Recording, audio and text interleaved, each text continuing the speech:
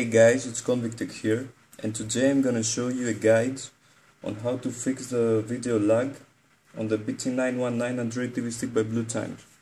All you have to do is flash a custom uh, overclocked kernel and Finless 1.6b ROM by Finless Bob. First, you have to download this kernel. This kernel has a stock uh, CPU at 1.6 GHz, but it has an overclocked GPU at 798 MHz and an overclocked DDR RAM at 800 MHz. Next, you have to download Finless ROM 1.6b.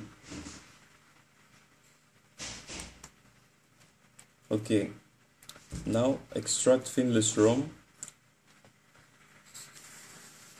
on your PC. I extracted it here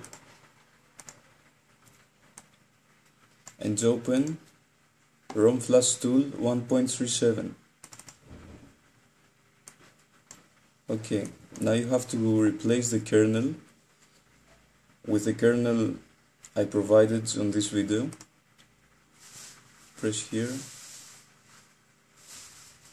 and choose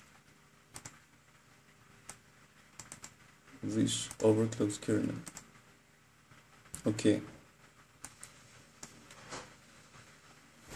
Now you have to connect your device to the PC. You have to hold down the FN button while you plug the USB on your PC.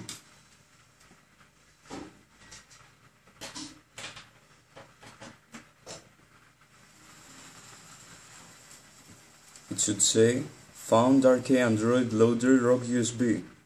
One small notice is that you have to use the USB cable provided with the device, otherwise it won't be recognized by Windows.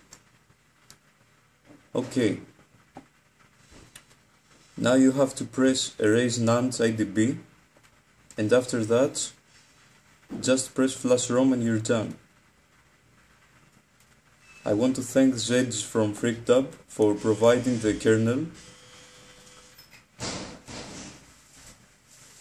Uh, Finless Bob for providing his ROM, Finless 1.6b, and Flanderson for providing the tools to overclock the kernel, which is RK Patchomatic tool. You will find it at FreakTab. Okay, thanks and see you in the next video.